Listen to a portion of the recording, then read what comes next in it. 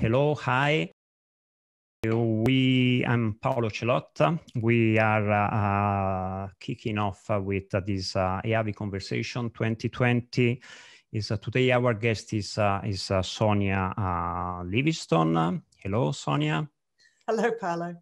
The, uh, Sonia is a, is a researcher and a professor at the Department of Media and uh, Communications at the London School of Economics. she has published many books, uh, 20 or so, on media, especially on children in, uh, in, the, uh, in the digital environment, many things and articles and publications also more broadly on, on media literacy issues.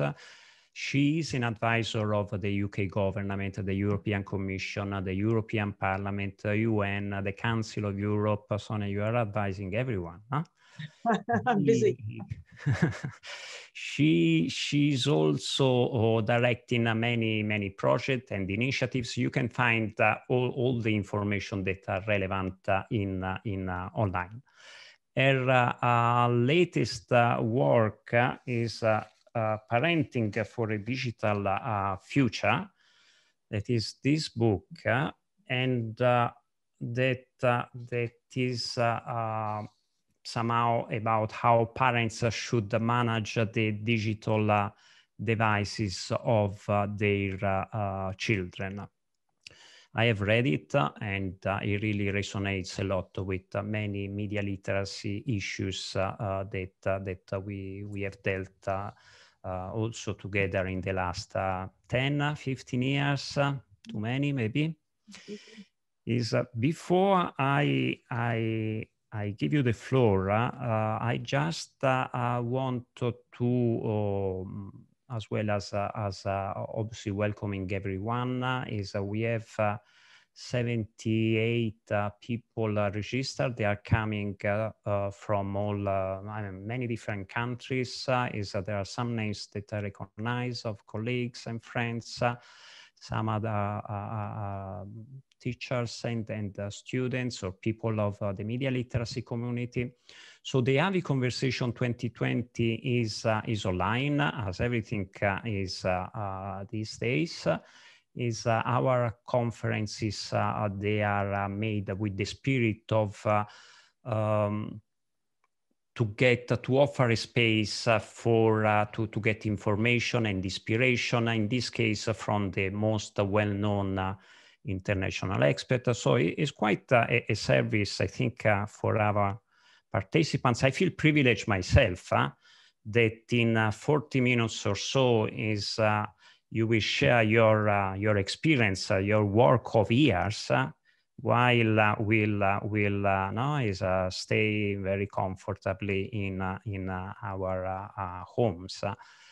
the I, think that uh, that uh, I hope that that the participants will find useful uh, is and these these reflections and we'll see what it will emerge from from this. So um, Sonia, the the, the, the, the, book that I was referring to is the result of a four years long uh, research, correct? Right. And uh, um, mm, you have done it with, uh, with your colleague, uh, Alicia Blum-Ross, and you describe parents a bit as acrobats in, uh, in uh, that struggle a bit uh, in uh, to find uh, a balance in between what certain are saying, uh, oh, well, it's a risky environment, to, to, they should be safe online.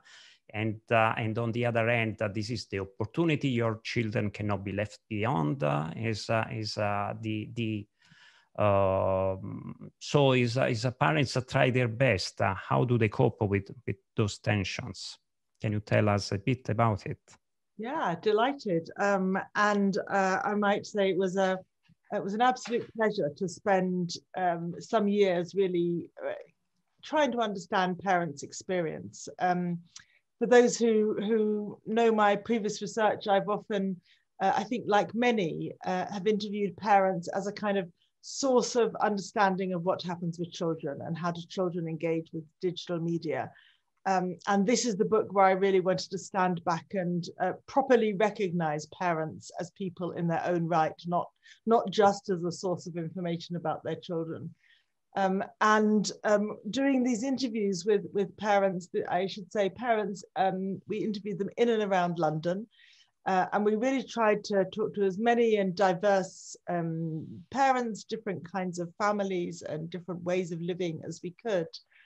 Um, and it was just so interesting to recognize the diversity among them because so often in policy world or in public world, we talk about parents as if they're all the same. They're absolutely not.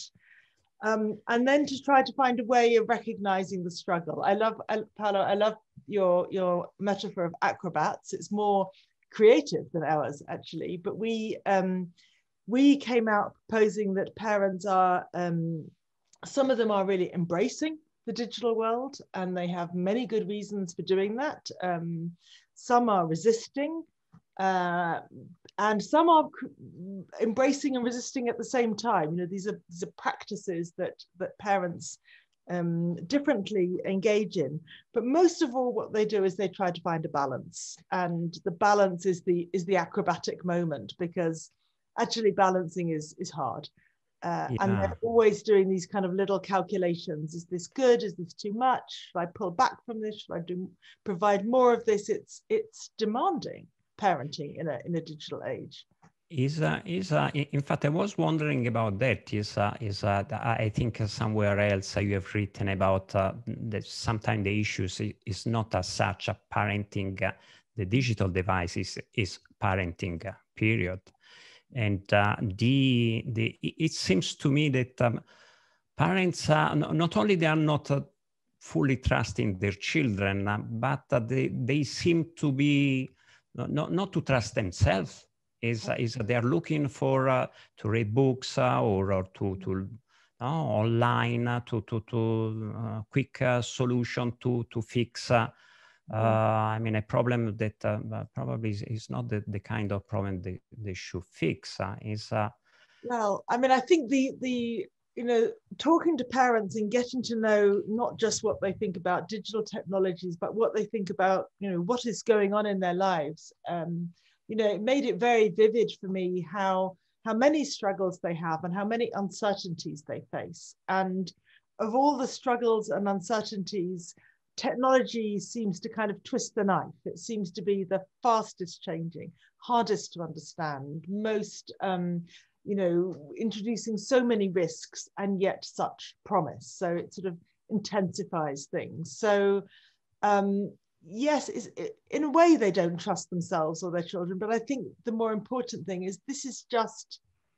you know, they so many other things that parents have to contend with education or food or you know healthy um, uh, lifestyle these things is it, uh, why, fast this is this is the fastest changing this is why, so why is it uh, is uh, sorry maybe is uh, is a bit a silly question but uh, why is it that parents want their uh, children successful is uh, is uh, there is a problem with that. No, is uh, is uh, you you cannot blame the children if we force them to go. I've noticed uh, is uh, this time uh, of uh, COVID when schools were closed. Is one of the main worry or problem was that then children, small ones, are being at home, the parents couldn't work. So it seems that we are sending our children to school not to learn, but just to, I mean, to, to, to get rid of them. Well, and, I, uh, I, but we shouldn't we shouldn't um, we shouldn't be uh, too persuaded by the headlines. I think. I mean, yes, that was the media story. School is a kind of babysitting so that parents can go to work and the economy can can run. But I think, to be fair to parents, you know, we asked them all. Uh, look back at your own childhood, which of course is often not digital or not very digital, and then look forward. What do you want? And then parents say, you know, I want my child to be happy. I want them to have what they need. Then they're not really so competitive and ambitious, I think. So but the they, media tells them they should be.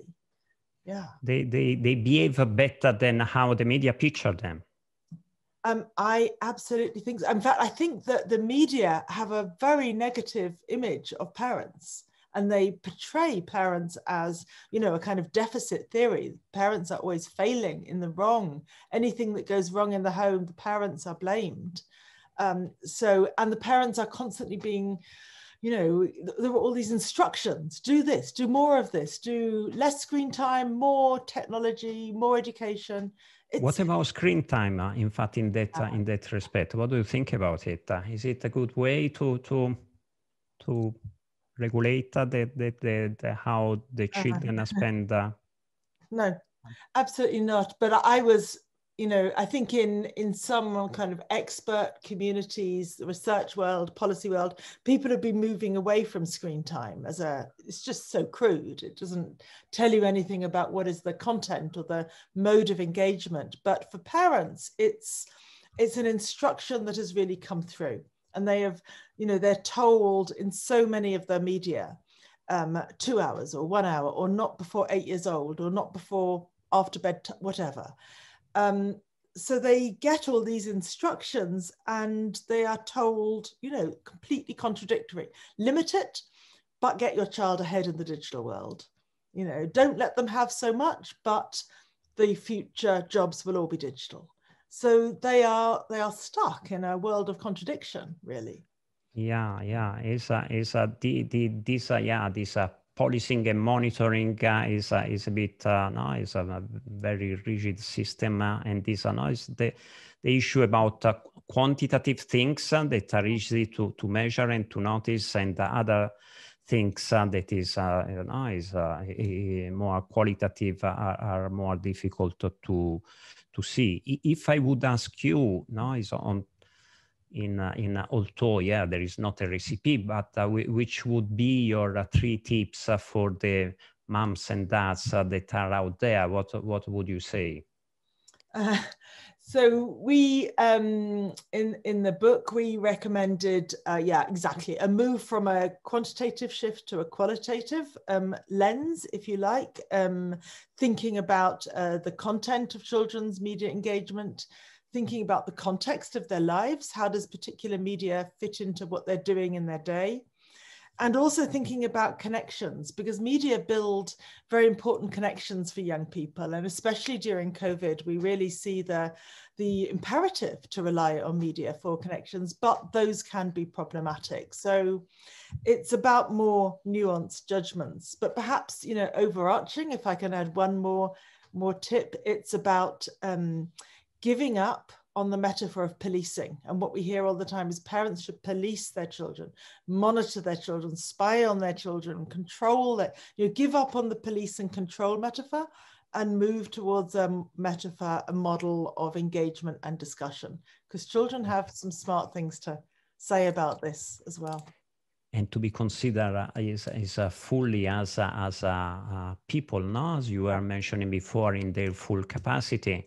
Yeah. Is we we yeah we are all people as teachers and parents and and uh, policymakers, obviously, is uh, but uh, it doesn't seem that we are acting together for the, the common good, isn't it? Is the the the why is that there are a number of things that should be obvious to anyone but uh, but uh, either they are not uh, is uh, and so we have to raise awareness uh, of this uh, is, is some of these issues mm-hmm.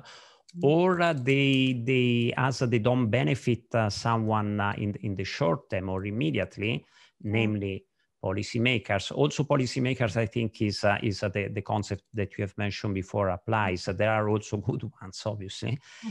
Is uh, the and the, possibly is uh, and or probably more than uh, than how the, the, the media picture them is uh, the no is to promote the interest of people should be something that I feel is I, am saying as a responsibility from, from uh, an NGO, no? Is EAVI, is a European association. We work on that, uh, and uh, and we we find instead that that we are a bit of an Indian reserve when when everybody agrees with us, but uh, but uh, there is no much support for civil society organization. Why is that? You think?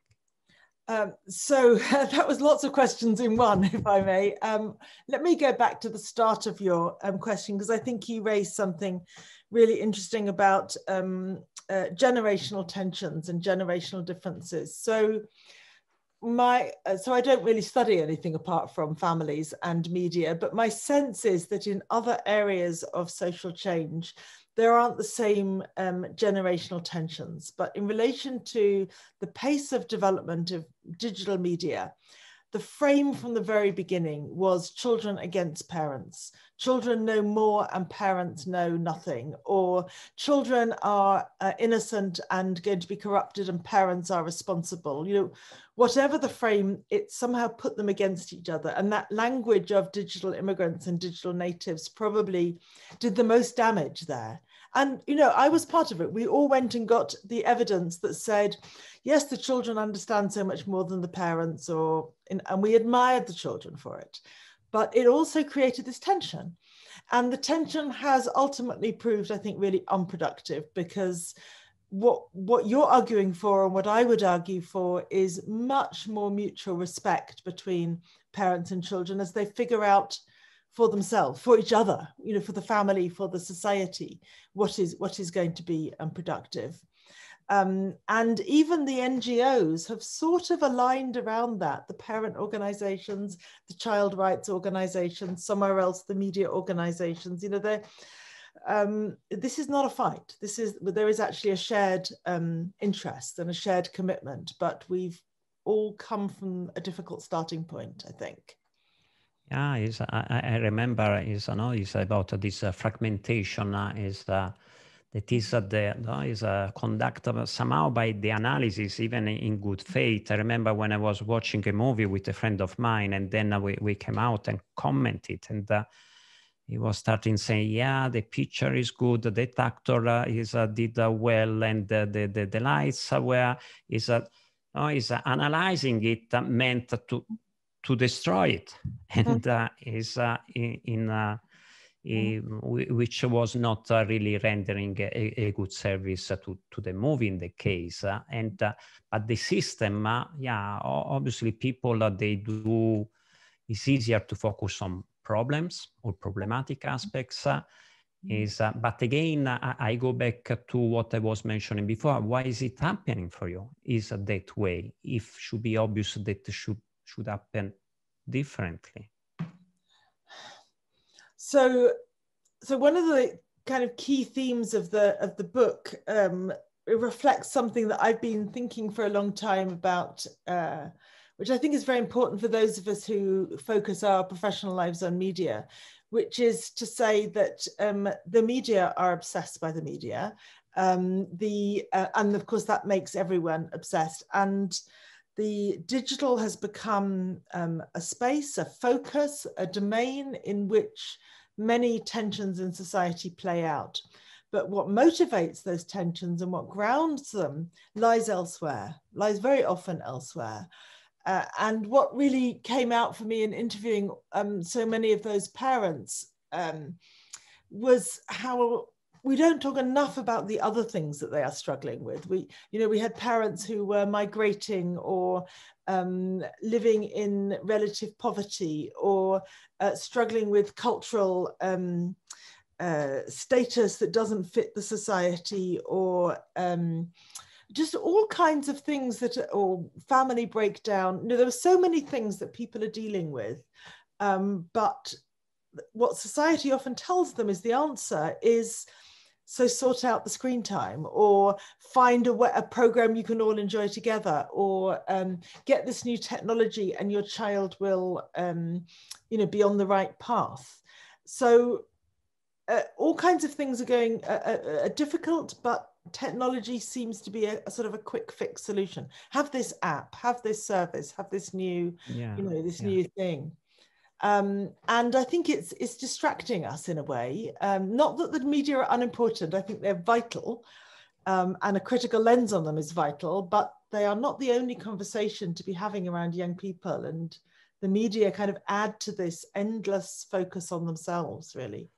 Yeah, is uh, is uh, I uh, I found. Uh, uh funny is when when in the book you mention about the fact that there is this moral judgments even uh, now is when the parents go to the playground uh, and they yeah. say well i do this with my kid and uh, other parents they are quick to say oh well is this is too permissive or this is too rigid or uh, i do completely the opposite and uh, yeah then you go back home and you are not really sure what uh, what uh, mm. what to do so this uh, also this moral tension uh, is of pressure is is truly truly understandable. Is the but but to me it goes back to to to to, to basics no? Is that the the nature of people or or issues that are a bit uh, systemic uh, is uh, is uh, no? Is that the yeah uh, education we we mentioned about uh, no? Is uh,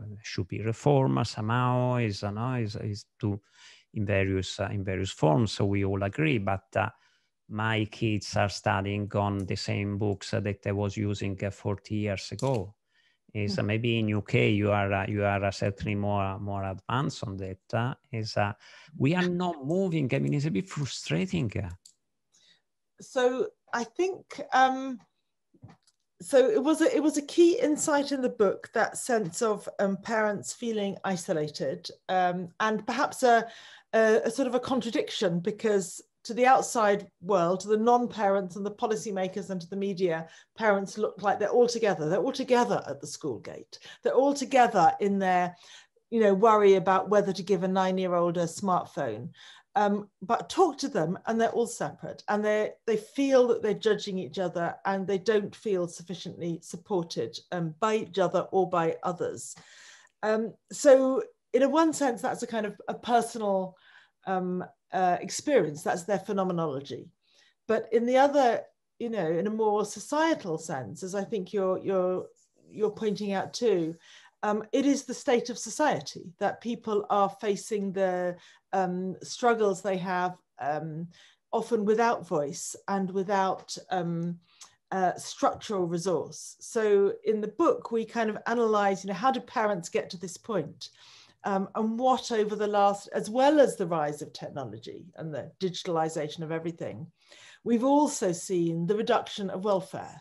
We've also seen um, the reduction of um, kind of community and structural supports around families. Um, we've seen the way in which, you know, because of demographic shifts and people moving so much more, uh, they are without their parents nearby or their you know traditional networks nearby so there are there are kind of big structural things that parents are living through that put them on their own um, and then they are somehow told you know they're all they're all in the same boat but they don't feel it um, and it's absolutely a political um, uh, societal shift that has that has put them where they are and uh, if uh, if uh, Mm, I, I, should remind, I forgot to, to, do it at the very beginning, uh, that if people want to ask questions, uh, they can use the question and answer section.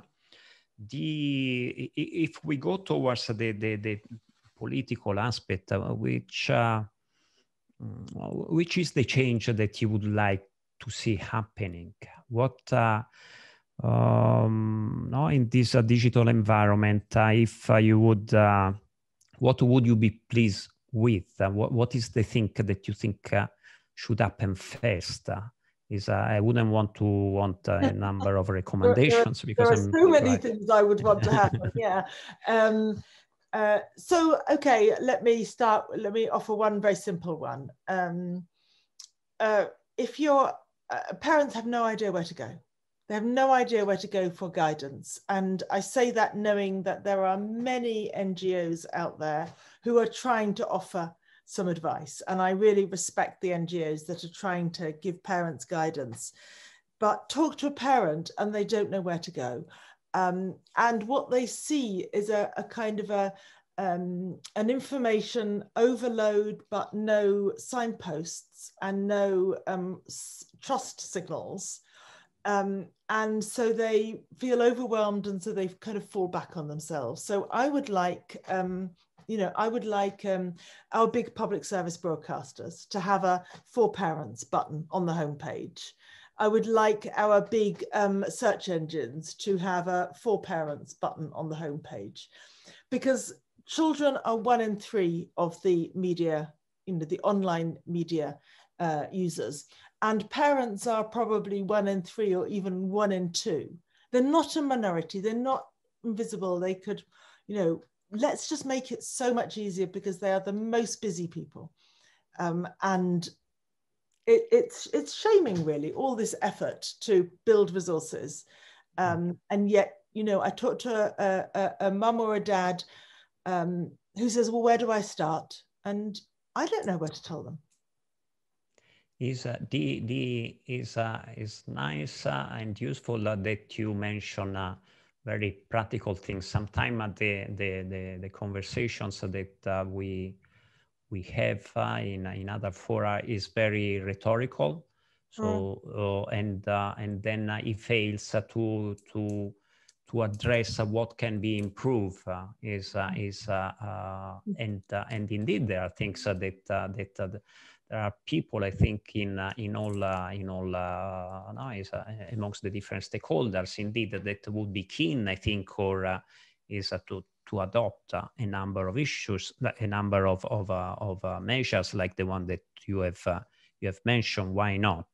or at least let's have a debate, and then they will have to explain why they don't do it. Mm. Is even more, I would say, is from from Mm, we, in order to move from here, if uh, we raise awareness uh, for uh, a parent, for instance, uh, to say, oh, well, there is not a button uh, on, uh, on my TV screen or, or on my social media, then if these parents are numerous enough, we will find a politician that will, will because he has a benefit, to put those things forward. No? Is uh, so I think we have uh, we have uh, we have to be uh, uh, very very uh, pragmatic.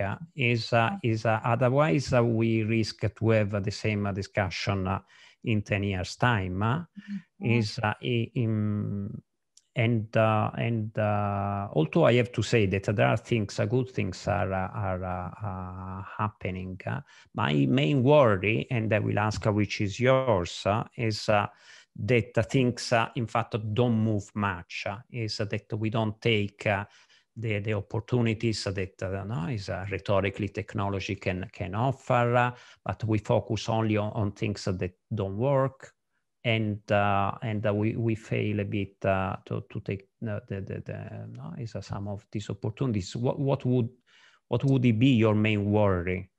Well, um, uh, I'll comment quickly on what you said, and then I'll tell you my my main worry. So, I, just to comment on what you said, I think one reason that things don't move is that we are in a um, a world where there are many interesting and constructive initiatives being tried out and very rarely are they evaluated and very rarely do we learn from the experience good or bad of what works what helps what what makes a difference so we we are um, you know we're a perpetual fountain of of new ideas and enthusiasm very often across especially across the kind of civil society sector. Um, but there is not enough learning. And so we're always starting from the same beginning again. To me, this is um, something that could just be fixed tomorrow if we evaluated all initiatives and we shared our learning and we especially learned from our mistakes. But my big worry, Paolo, is um, that any talk about children or parents or families um, sounds like some kind of brake on um, innovation and um, the profitability of the industry. It sounds like something kind of um, expensive and annoying from the sidelines to say, hello, could you stop and offer some guidance to parents? Could you stop and make this service more child friendly? Could you stop and explain to people how the media work before rushing off and changing everything again? Um, so to, in many other, um, you know, very influential and important forums where people in suits are making, you know, powerful decisions. Um, all the things that our community wants to say are just not heard because, you know they have to have the first mover advantage. They have to move fast and break things. They have to you know get out there and change the uh, promote the, the the industry in a particular way. So i just worry that we are um, uh, irritants really not not not sufficiently heard at all and not not to mention the people that you know you and i and others try to represent who are just simply unheard in, in this mm. world of rapid digital innovation. Mm. we we yeah is uh, is uh, we we obviously have uh, a a responsibility no? Is also the responsibility of the speaker uh, is uh, towards uh, the audience uh, if you don't know it's like the writer uh, if uh, if his books are not read uh, i mean it's not the fault of the audience uh, is uh, at one point the european commission moved from media literacy to film literacy don't know if you remember this is mm-hmm. and this was the result of promoting european movies mm-hmm. is uh, is uh, uh, versus movies that were coming from somewhere else in the world.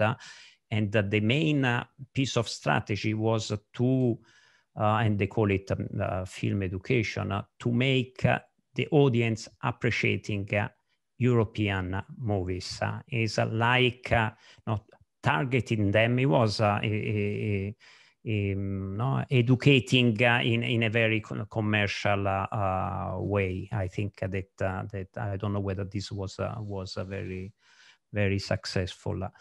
Uh, but yeah, is we all share res responsibility. Is we all have different roles.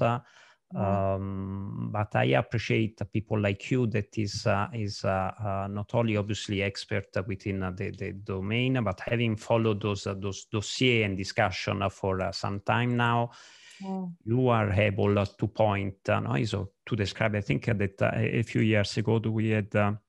A meeting uh, talking about the future of media literacy. Now we can call it different, but it's the same stuff. Mm-hmm. Is uh, what should be done, what should not, uh, and certain things have happened, many more should. I mean, is is necessarily. I think is there is a sense of urgency now that uh, that I feel.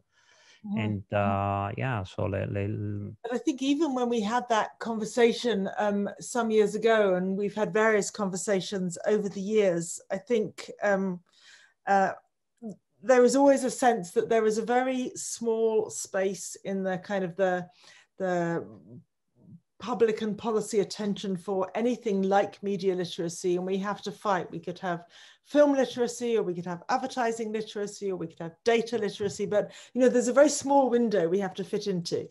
Yeah. um, and i think what you know i don't want to trade any of these. I think they're all important. And i think the public um, uh, the audience uh, young old all should and kind of want to understand better this mediated world. Um, but the challenge is to find the spaces within the structures of society, in the education system, in the public um, service media system, um, wherever it is, you know, how do we find this sufficient space that all of those different kinds of literacy can not only be promoted, but also support each other? Because as you say, it's um, it's getting more and more important. And COVID nineteen has meant you know everything is online, everything is mediated. This conversation, our every conversation, is mediated now. Um, yeah. Understanding the stuff of it, understanding what is you know what is the frame, the device, the Zoom, the everything is is just more important than ever and uh, and uh, it, it is yeah now is uh, is in the jargon of the commission and uh, the media nowadays is uh, is uh, um, terminology like disinformation or the importance of fact checking is now is becoming prominent but in the end is, is the same is the mm. same stuff isn't it so is is so we could say thank you to fake news in a very cynical way because it has at least put on the agenda something that yeah if they'd done if, if people had promoted media literacy 10 or 15 years ago maybe we would not have had 2016 well possibly.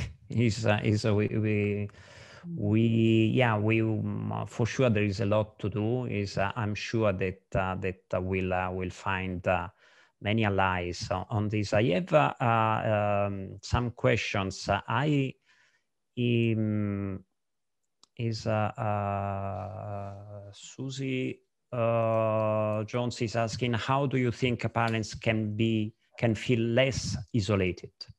Mm. Um, that's a great question, especially now, I think, when parents are really feeling um, very isolated and struggling with, with, with so much. Um, well, Susie, I don't, I don't have um, all the answers to parents. I think what, um, what they would say is, one thing they would say is um, can we change the climate of discussion to make it less judgmental, less critical, so that people are less fearful of saying what it is that they are dealing with? COVID 19 has been quite helpful in, in that way. But one of the, one of, I'll just give you an anecdote that, that I think will resonate. Um, when in the days when we could all go to cafes or eat out occasionally, um, if we if we had the funds, um, or even going on a bus, there was this lens that had, had, had come to dominate of look at that parent. She's given her phone to the three year old. Look at that parent. She's on her own phone and she doesn't see her children in front of her, or he doesn't see. That we, we've become used to an incredibly kind of um, negative language in which we all judge each other. Um, and I think we can we can stop it. You know, we can all work to to change that. Um, but then um, to overcome isolation is always about finding places where people can be together and where they can understand each other better. And those, um, of course, should be in our communities, but now they can also be online. And so again, I ask, um, where can parents go? To meet each other and share their their struggles. And there are some really great online forums where they can do that. And there are some great kind of digital networks. And some of the parents in our book go to those. And there are some you know stories uh, of, of people who are on their own all day with their children and their domestic demands. But in the evening they can go and they can talk on their um, you know on their parent blog or in a in a uh, a group on social media somewhere and it's sustaining. It really helps. And so we shouldn't say look they're just on a screen. We should recognize they might be getting the support they really need and encourage it not fret about it. Yeah yeah. It's it's uh of course, as as you mentioned before, is uh, you know, it also depends on the socioeconomic background uh, that uh, that each families and parents is coming from, and the access to to to to certain of of these uh, uh, tools. but yeah, is uh, many things that probably can be done also analogically. No, is or um, meeting in the park, or why not, as well as mm-hmm. as other ways. Is Roberta is asking whether you think that there is a generational issue as uh, mm. parents today do not have previous models uh, is to, to, to learn from. Yes, I, I, absolutely. And that's one of the, the, the book's findings. So we, in addition to talking to parents, we also did a national survey, a UK survey of parents. And that was very clear that when parents worry about what to feed their child or how to deal with bedtime or homework, they can um, more often than not turn to their own parents or their own, um, the older people in their family. But when it comes to the digital, they can't. Um, much less. And not only can they not turn to them, but that older generation is also often very judgmental of the laissez faire attitude of the younger generation. So I think, um, yeah, there's a lot of grandparenting support going on. I know a lot of grandparents are doing childcare these days. It's becoming very important. Um, so I think it's really important that they are also part of these um, negotiations about the value and the um, risks of digital media, not not kept out and uh, and, and um, they, they too need media literacy. Um, so yes, uh, and of course parents look back on their own childhood for their guidance and the digital media were not there in the same way. So it's a challenge. Yeah. Yeah, it's a, it's a, needs to step in and, and guide. Yeah. Is uh, is uh, when when you write that is uh, the parents are negotiating democratically yeah. with their respective uh, uh, children. Uh, I mean, it's a bit uh, exhausting, isn't it? Uh, is Negotiating everything is exhausting. We know this in all our relationships. Actually. We know this in our equal relationships, not in our, you know, our hierarchical ones. Perhaps at work for many people don't have to bother, but in our equal relationships, now that includes our children, it's an endless negotiation. Actually, that links to a Johan's question, if I can uh, go there, who asks whether how, how much this sense of parental isolation is worldwide. Um, and uh, in another project I, I, do called Global Kids Online, we um, I work with partners in many different parts of the world to try to understand the um, the way in which children go online, and the role uh, includes the role of parents. And I think what that's taught to me is there are very different parenting cultures around the world and very different family cultures around the world. And the, you know, I talk in the book about the, the democratic family. It's a very Western concept. Uh, and um, Anthony Giddens, who, who, who talks about it, you know, says this is a, a shift in the European model, really, from a more hierarchical family with authoritarian parents very often and children who do what they're told or should. Um, and this democratic family is exhausting. It's back to the acrobatic, you know, everyone is doing the balancing and the negotiating. Um, but it is a particular model. And um, in many other parts of the world, there are different conceptions of the parent child relation, and the digital is part of that. It gets caught up in that, and it often becomes the um, the kind of the terrain, the, the medium through which generational tensions are expressed uh, and parental authority is expressed. Yeah, is uh, is uh, I appreciate that. No, is your your uh, your uh, research has been uh, conducted in UK, and that is yeah, children are children, people are people, uh, regardless of where they come from. Uh, but indeed, uh, there must be, you know, is some sort, of, as you have mentioned, differences in terms of, of culture, education. And um, at the same time, there must be the majority of things that are common. You know, a parent always try to do his best for for his kids. There is a, a um, there is a Mish that is asking from Facebook. Uh, is uh, uh, how can we teach the value, the importance of privacy to our children?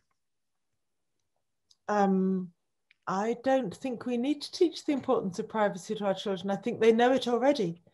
Um, I think they are ill served by the design of the digital environment. So they find themselves sharing or needing to share or um, unexpectedly sharing because they don't always have the data literacy, um, if you like, or some of the advanced media literacy. But I think children have a, um, from all my interviews with, with children and young people, they have a very strong sense of um, privacy um, and indeed of kind of embarrassment and shame and what's fair and who should know what. They, they want that control but they are their communication is now in a complicated and opaque digital space where the tools and the design is often for adults and doesn't explain itself properly to children. Yeah, um, that's so interesting. I think they're let down. Mm. Yeah. Is uh, that, that's interesting. Uh, is uh, no, generally speaking, that sometimes uh, we do adults worry about things that we shouldn't uh, is uh, because of, because of the it, it is not uh, a problem or it has already been solved uh, is uh, the um, time is really going uh, super fast is uh, I is I'm, I'm really I think that I don't know what about you but I could stay here for the next couple of days the, you know this long I, I'm not going anywhere those long chats of some uh, uh, no, who was a Fidel Castro that was capable of having a speech that was lasting two days. But I think we, we for the sake of, of the structure of, of this conversation, I, I love to have you, maybe so we, we can uh, plan uh, another and, and a separate conversation later on uh, in, in these conversations. Uh, the, but I have to, to wrap it up for, for the moment. I would have liked to in fact, I do, even if we are running uh, uh, late, uh, is uh, if you feel that there is a question that I should have asked you, but I didn't. Which is the um, question, the, the, the wise or, or, or think uh, a question that, uh, that you think, oh, that's a good one. Um, Actually, I, I think you. I mean, I love that you you you read the book and you um, asked me the the lots of really um, good questions. Um, hmm, a question I wanted to be asked. I think I wanted a little more to convey the enormous differences of the um, family situations. So, for example, in the book we have um, uh, a chapter about um, children whose have special educational needs and disabilities. And I maybe kind of want to make sure that when we talk about children or parents, we don't always homogenize, and not that you did, mm. but it, it's easy to do. Um, and just recognize the um, a lot of the kind of different uh, struggles um, that people have and how for so many people digital technologies seem like an answer seem like a workaround seem like a compensation for the lack in the rest of their lives and um, so you know we, we we talk a lot about the problems of the digital but it is often the solution for people and that's one reason that they are involved in all these acrobatics yeah is uh, the uh, Yun is asking whether we can find uh, your book uh, on uh, um, in ebook. I mean, it's in digital form. Can it um, be bought? Yes, absolutely. Yeah. It can. It's um okay. Type answer. It says here. I'm going to do it. Thank you is uh, while uh, you you do that uh, is uh, uh, well I, I, obviously want to to thank you it was a really a nice way for uh, for me to mm, to to spend and to, to, as I say at the beginning I feel quite quite privileged is in in that's the reason why I, I started this initiative is is a very selfish one I mm-hmm. found it a trick to talk to interesting people And uh, uh, I also would like to thank all the people that uh, not only follow us from uh, from uh, Zoom but from from Facebook. The if uh, if you want to connect with uh, Sony, I think that Lara will put up uh, the, the, the slide again with all your handles and Twitter and and social media things for update and and they can check is uh, your, your website also. I would um, Mm, encourage uh, uh, any of you who is willing to to send us uh, some feedback. How can we make this is a bit of an experiment? is how can we make this conversation better? So is is I love to hear from you if you want to to hear or to know more about EAVI that I was supposed to introduce at the very beginning, but I didn't. Uh, you can go uh, online. Is uh, if you want to have fun, you can also do the the, the EAVI test that is online. Tomorrow, we have Divina Frau-Meigs, which is another big name of media literacy at the same time. Um, so thank you, Sonia. It was uh, really lovely. thank you so much, Paolo. It was, it was fun. You asked me different questions. It was good. Is a good luck with everything, uh, and I really hope that we'll have the opportunity to speak about these and other issues uh, soon. Ciao, bye.